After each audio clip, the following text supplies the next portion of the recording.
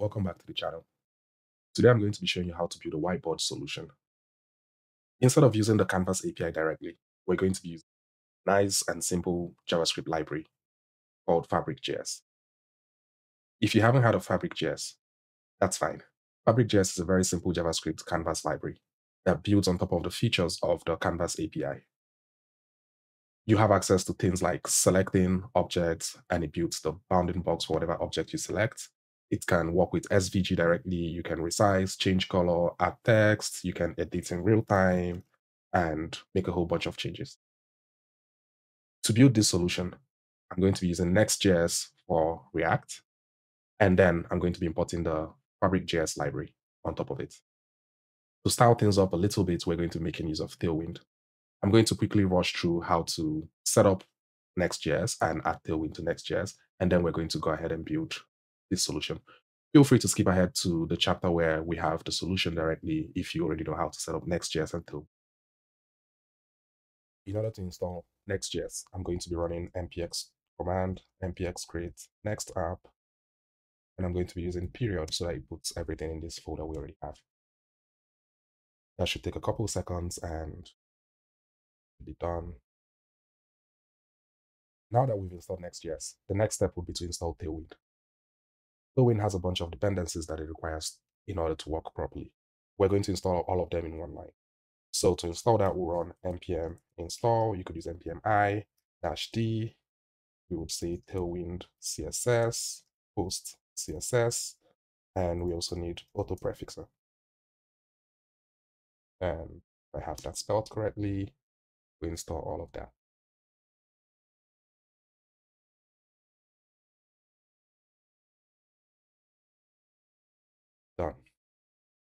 Now that that's done, the next step in configuring in configuring Tailwind is to run npx Tailwind initialize init and this is going to create the tailwind config.js and the post.css config file.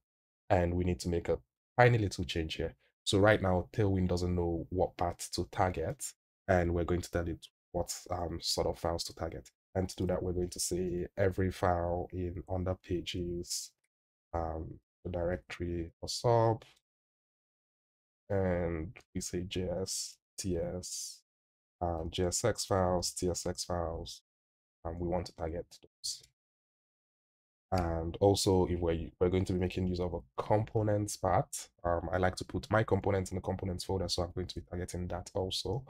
And something that we did, say JS, TypeScript, TSX, and a TSX.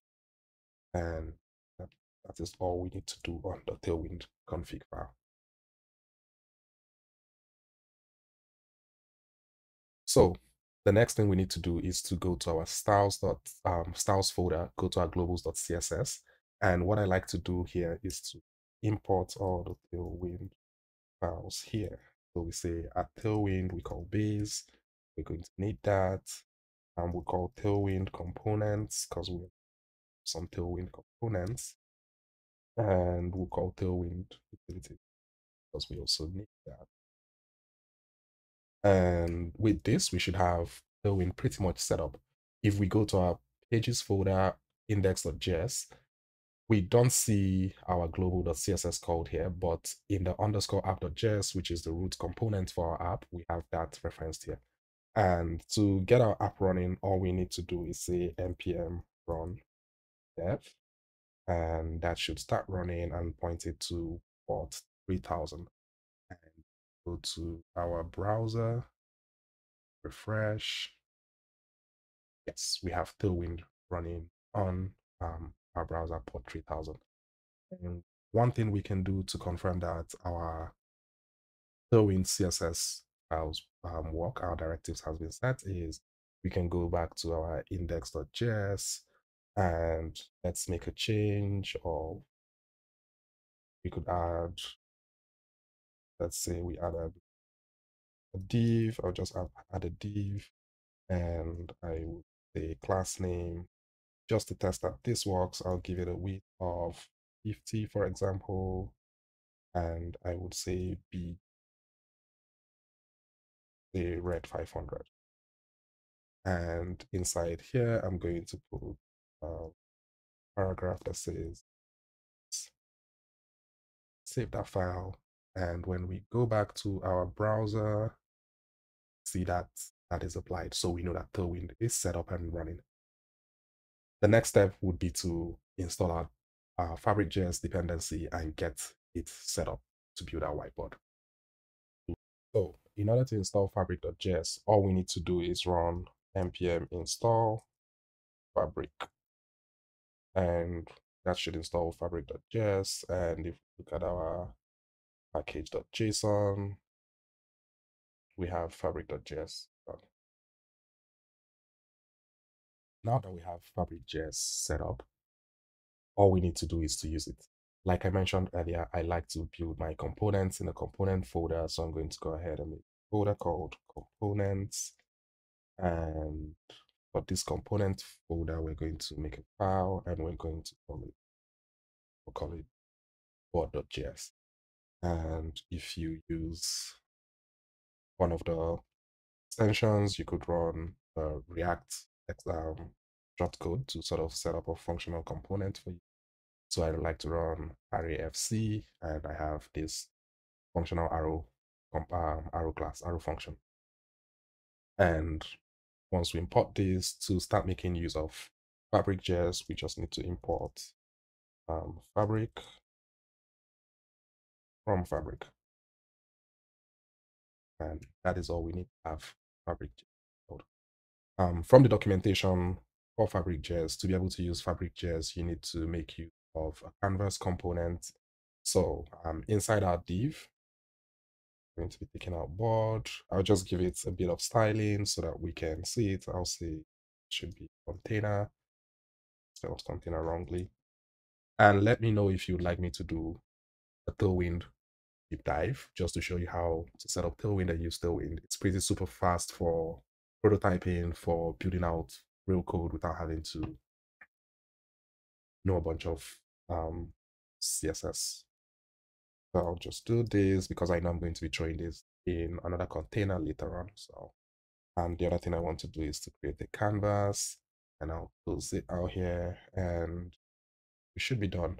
Something else I would like to do is because this is not um, bare HTML, this is going to be React. I need to get a reference to my canvas. Usually, um, you could use an ID and reference it to an ID. But since we're writing React, um, why not get a ref? So I'll call this canvas ref. I haven't created this before. And what I'm going to do is I'm going to come at the top here. I know I'm going to need make use of use ref. I need use ref. Um, I'm going to make use of use effect. I'm going to make use of I would state at some point. Yeah, so these are the three things I'm going needing. And for a start, all I need to do is say constant, we call it canvas ref, and we're going to say ref, and we're going to size this small. And that way we have a relationship between our canvas and the reference. So the next thing we would want to do is to initialize fabric. I'm going to be doing this using um, use effect just because we want this to be um, initialized when the page is done set up and only done once um, in the life cycle. So I'm going to just make use of one this to only once. And what we want to do is we're going to create local variable here. We'll call it canvas, and we'll say this is equal to new fabric dot canvas. Capital C, yeah, canvas and all we need to get this going is we just pass the canvas ref, but we know a reference as current, it has other properties. So we're targeting the current, whatever is in the reference now. We can pass a bunch of options for now um, to this, but for a start, I wouldn't pass any option. Let's save this and let's go to the browser and see if we have this properly set up. So go back to the browser, refresh, um, yes, we should um, we shouldn't have anything running because we run our app again.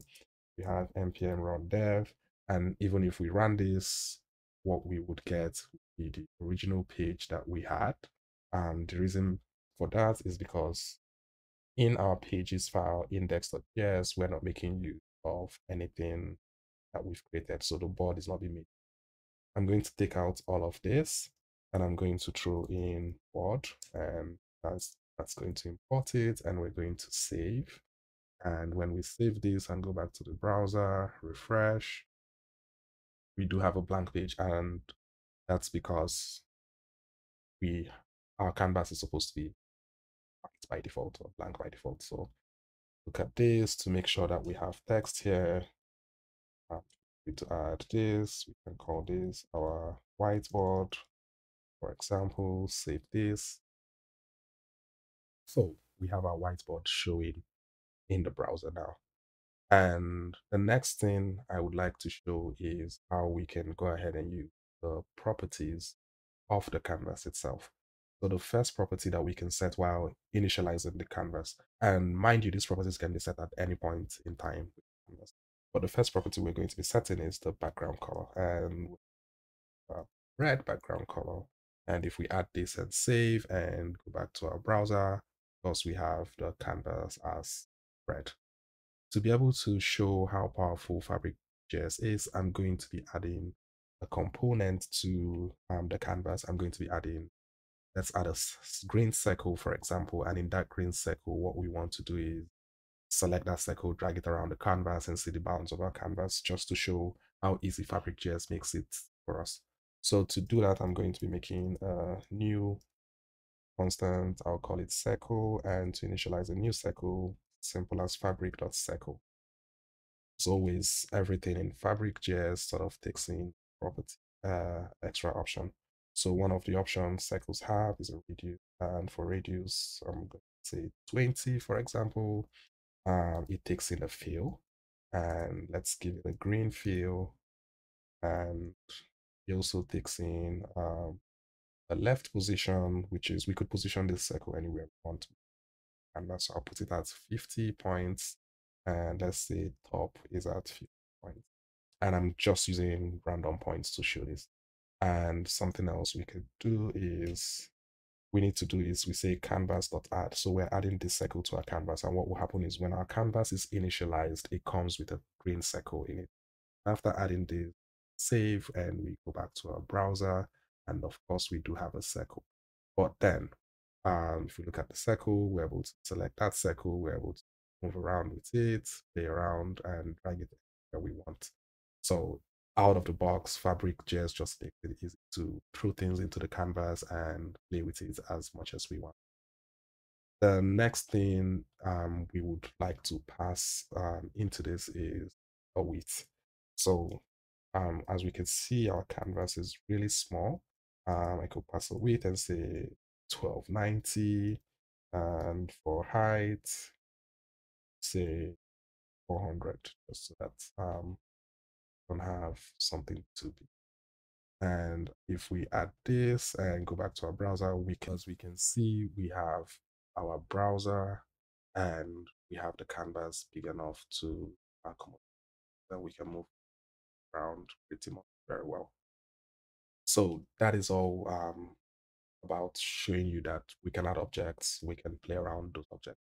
To start building our whiteboard, um, Fabric.js makes this super, super easy to do. And to do that, all we need to do is go set um, another property called is drawing mode. And if we say is drawing mode equal to true, what we are going to do, what that is going to do is that turns our entire canvas and what happens with that is that we're able to sort of um, drag around. Hold on, hit I need to refresh. And if we refresh, as you can see, I can write on the canvas and basically with five lines of code, uh, five lines of initialization, we have a whiteboard done. The other step I'm going to be going through is basically how to customize this, set it up, change color of the pen, and just play around React and see how we can customize this, make it look real good and use So we'll go back to our code. Um, we don't need the circle anymore. So I'm going to take this all out. And we can see that even without the background color red, I'm going to change this back to white or gray, for example. Um, and if we leave this drawing mode equal to true, back to the browser, we should still be able to write in the browser. So um, applications you could think of would be things around, um, say you wanted to take in signature for um, an application you wanted to build a custom signature pad. Um, this is definitely something we could use to sign. And what you could do is you could export what they've signed here to an image and attach it to a PDF file. Uh, you could use fabric.js to build something like Canva and have your own uh, editing suite. Um, let me know if you want me to do a course on that. Recently, I worked on a project where we had to review an editing suite where um, it looked very similar to all the features that Canva did. I could do a big video about setting that up and creating some of the components there. So let me know if you'd like to see videos like that. And there, there are countless of applications you could use this for. So you could your own version of Photoshop, for example, um, drawing the picture into the canvas, edit it, add filters, and what um, whatever comes to your mind. You could really, really play with this as much as you want. So um, that's that. The other thing I wanted to show is um, I'm going to bring back the circle we deleted. So I'm just going to go back a bit. And something else I wanted to show you is that you could customize your selection color. Say we wanted when we selected something for it to be purple in color, for example, we have the option to do that. And if we go to our browser, refresh, we have uh, that component, but when we select it, um, I'm not able to select because I have is drawing mode turned on. So um, I need to go back here, take out is drawing mode turned on and save this file, go back to our browser, refresh, and it once again. So um, you could choose the selection color and I didn't also show you this, but you could size and because our circle is sort of like a vector object, whenever we resize uh, the quality, we don't lose quality and gets better for whatever size we increase scale it to. Um, something else I also wanted to show is we could add things like um, the selection width. So say we want our selection width be really, really big. So selection line width um, we can say we want it to four and what that gives us. Back to the browser, back to this, and sort of increases the um, when so when we select have very big and we also see that the color is purple so that's that uh, section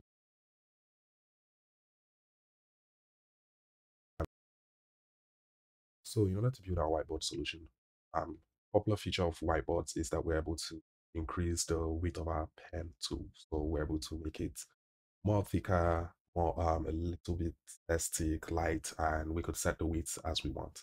Um, some people might do presets, um, but for our own case, we're going to do a range, a slider where you could scroll and increase how thick you want your so in order to do that, um, we don't need the cycle anymore, so I'm going to take that out. Um, something we're going to be needing is we're going to add a, a div here, and in that div, we're going to make another div to hold um, a label, and what we call that label. And we're going to have an input, post that, and basically our input is going to be of type range. And why we want the range is with slider that we and on change. So whenever that slider is that what we want at that event and pass that event to a change pen width function that we soon. So once pass it to change pen width and we'll just set um, the target of value. So whatever value we change it, that's what we'll send to the that function. And for our value, let's say it's going to be stored in function um, in a variable called pen. And we want to have a minimum width want going to 80 or going to zero.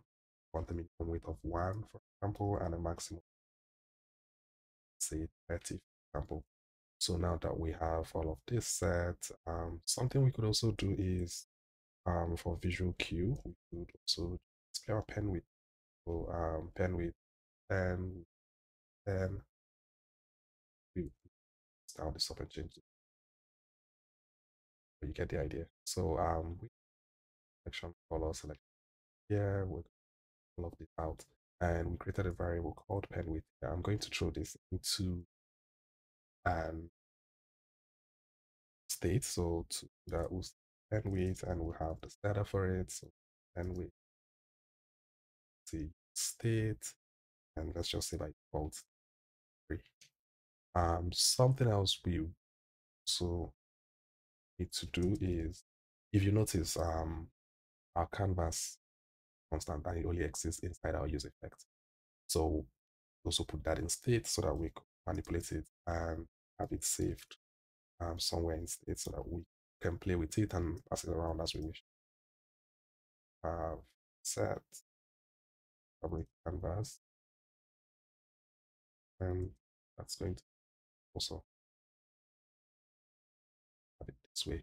That means what we want to do immediately after initialization, we want to commit our canvas to state. And before I forget, we want to check that we have our canvas ref here. And yeah, that's so we can start to create this function called change width. Simple constants, change width, um, arrow function. And now that we have this, what we want to do is um, this function taking a value here, like we have here, expecting a target value and we're expecting and we're going to check that our canvas is not and it's not we're going to call this canvas api called drawing brush. So free drawing brush brush we set to to whatever width that's basically how you um, set the width of the pen tool so um because we're playing with states we have to update our state uh, whatever we're changing it to and I like to call the canvas.render all. So um, every time we make a change to canvas, we want to bind this. Um, it works without it, but um, I, I like to use this just to be safe um, most times. So once we do this, um, I think we have everything that I need um, get this to work. The only other thing I would do is I would close this um, so add a simple function here. And this is not Fabric.js specific. This is just me cleaning up my um this off. And I think we should have everything to get this running. So the browser refresh and yes we do have our pen width showing the initial width was 33. let's try it out so we're not able to write. And the reason we're not able to do that is because we did not set our drawing mode to be true. Um, set that, back to our browser, refresh this. Let's try to write. Yes, we get this. Let's increase the width and see. So. And um, let's use it a bit more and have it bigger. And with this, you already have a functional whiteboard in very little lines of code. And all you have to do is style it as you want, and place it however you want, and you're really onto something.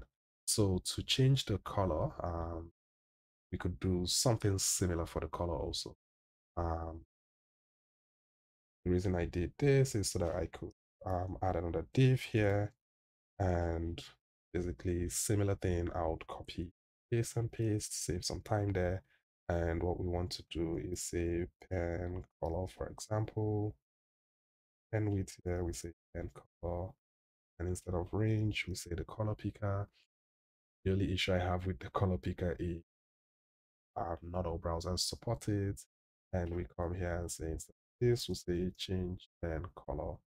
And um, I don't want to make use of a accent. In and for here we the pen color. And basically the same thing we did here we can come here duplicate this for this pen color and the set pen color. And when we set our pen color we could pick whatever color we want um, set it by default if wanted and the other thing we need to change uh, constant change pen color and a color is going to be passed to us and taking that color. The same thing we did up is we're going to check that our canvas null and sort of exists. What we want to do is same fabric canvas uh, same free drawing brush the only difference is we're saying color we're changing color to this color and we can set pen color to whatever color um, we've selected and pretty much the same thing. And I believe that is all we need. Color. So if we go back to this, we see that by default, it says that our color is red, but our color isn't red. And that's because we're not passing pen color as part of the option. So, um, really super easy to fix that. We're saying red um, here for pen color, but the only place we're using pen color is the value and nothing. So um, that's easy to fix. It should work. Um, to write and we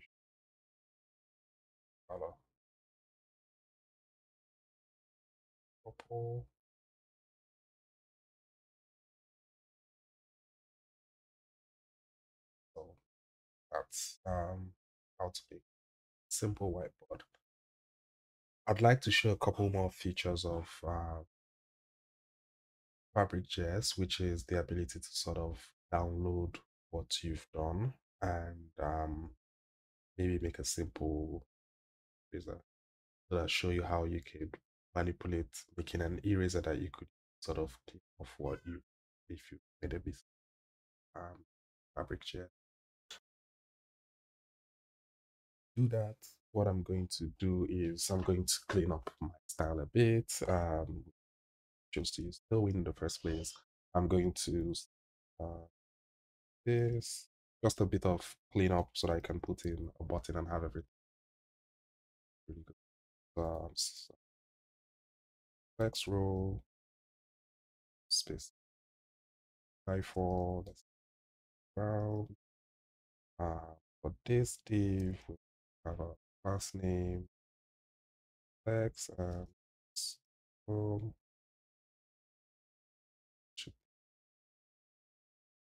uh, div um, I'd love to wrap these two in another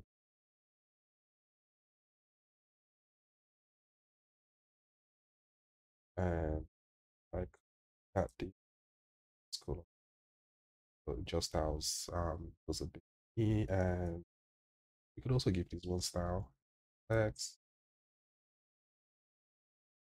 two and pretty much.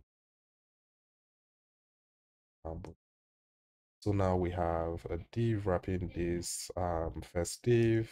The next thing I want to do is um, create another div. Um, I want to put my button here, or I could create a button. Understand? This button. So um, for this button, we want to download example and want to one click we would like to just call a function. Let's call this function mode. And that uh, have type of button. And class here and let's see. Background say 600 say on over we want 700, for example. Um, let's keep the horizontal and vertical padding. Let's say horizontal 6, vertical 3. Uh, let's see how this looks in the browser. Browser, yes, we have button. Um, I don't like the text back, so text white browser. So we have um, our download to be able to download. Let's write that download function. So we say constant download and color what we want to.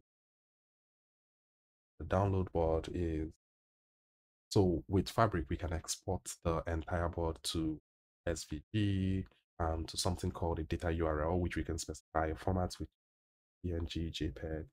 So um, export this as PNG, the um, PNG data, and because our Fabric canvas, we're saving every everything to it. We say PNG canvas dot to data URL and the PNG. And the other thing we will create an anchor, which is a trick I use, um, an anchor element, the download link, and JavaScript, the create element.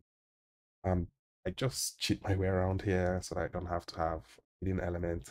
Um, I can create this and destroy it, and nobody ever sees it. It just exists for a second here. And we could play around file names. The we want to give it a file name, bit of dynamic file name. Let's say whiteboard session. Uh, this um, to randomize this. The that's dot random dot string dot replace and replace stop with. And after all i'm done, we'll just append .png, which is the format we want to export it to. And what we want to do is our download link will add the href and like you guessed, href is going to be the PNG data and we'll say download link for download. So um, we're going to pass in file name and we're going to click it. So every time you do this, we're going to create a anchor element, attach something to it and click on it all in touch of a button. And this is how you make a downloadable. So um, after doing this, I think that's all we need. If we go back to the browser itself and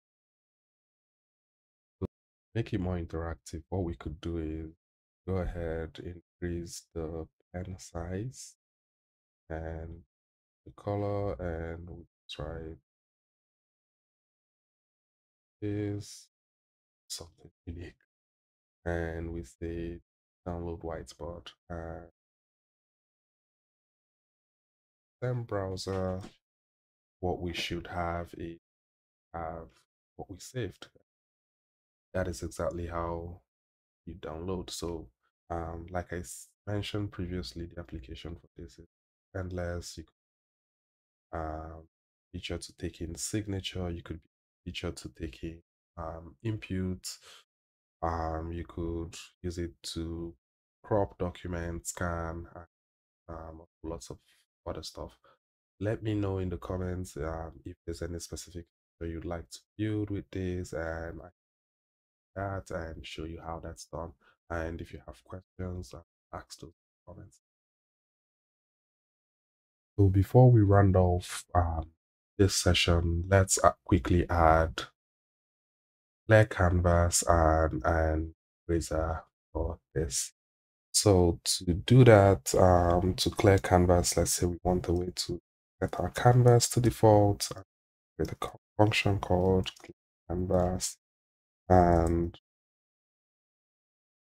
basically same thing we've done previously is we check canvas this and all fabric canvas there.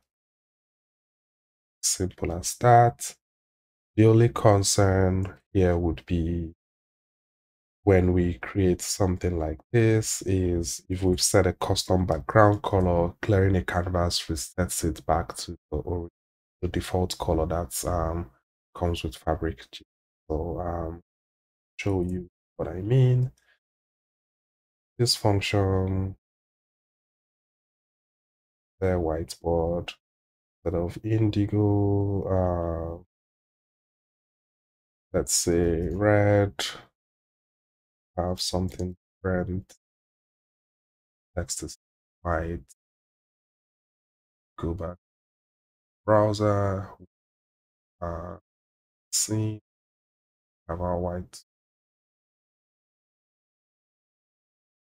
We have this, for example, and clear whiteboard. It cleared it, but because we have a custom color and to show that we still have a canvas, yeah, I can still write here. And if we declare, it goes back to the. So uh, a trick or workaround that is whenever we clear the canvas, we want to set back our um, default color. So whatever color we're working with, we set our background color to, um, since we're working with red, we can set it back to red. And that should pretty much that. So uh, that's back fresh. change and clear whiteboard, play it and we have red. That's a trick to play it and keep the color.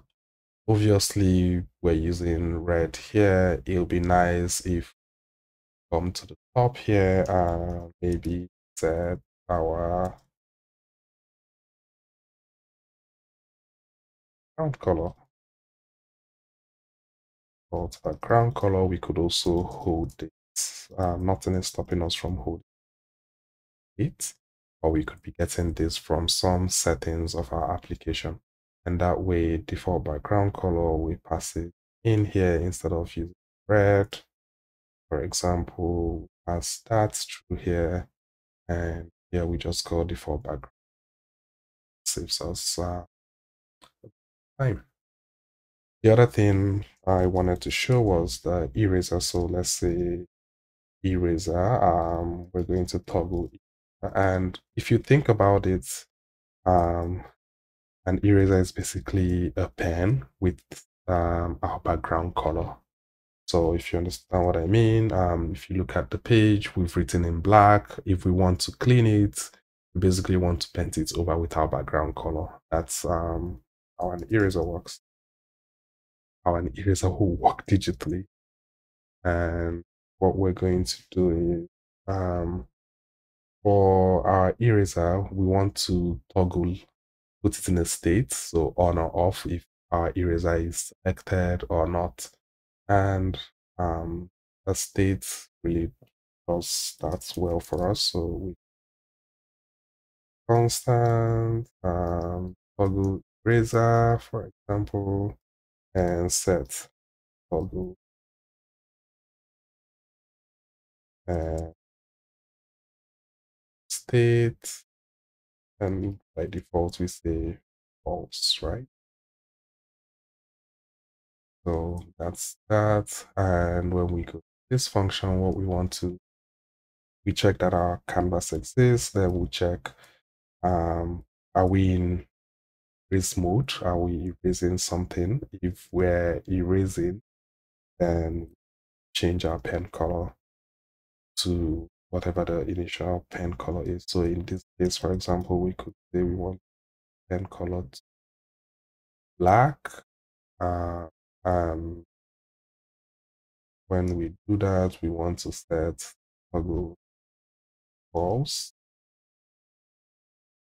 and if we if we are not erasing if it's false what we want to do is we want to get our background color. So um I, I could also show you we we already know our background color is red so we could set it to red. We could just do something change pen color and set it to default background color. And then we set our toggle to this. So um, simple button, same thing. Instead of this,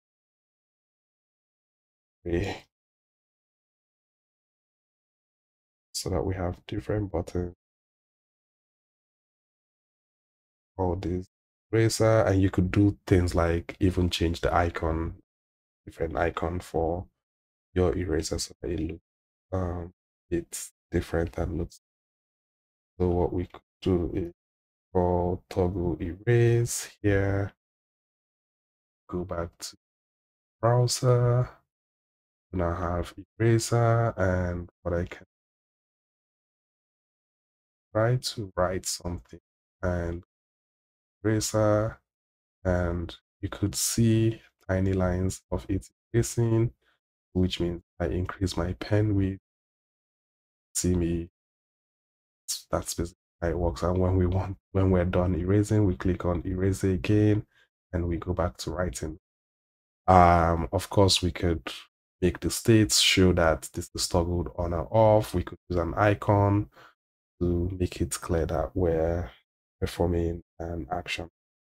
Simple way to do it is um here um so in this object and what we want to check is if our toggle eraser is true then we know we're erasing. So what we could do is a toggle eraser true. What we want to do is say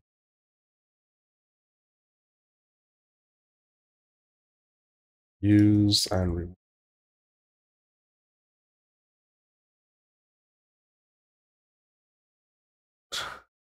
just a simple toggle. Um, I got it wrong, so it's supposed to be uh, remove this way and browser and this eraser eraser now and remove eraser means we're back to